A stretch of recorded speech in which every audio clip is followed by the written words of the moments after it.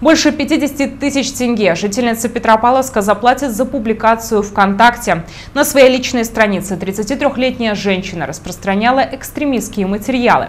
Для многих пользователей соцсетей это всего лишь картинки, музыка и фотографии. Но вот для правоохранительных органов это киберэкстремизм. С начала года сотрудники Управления по противодействию экстремизма выявили 13 правонарушений в сфере религии. 8 человек привлекли к административной ответственности. По остальным назначены религиоведческие экспертизы.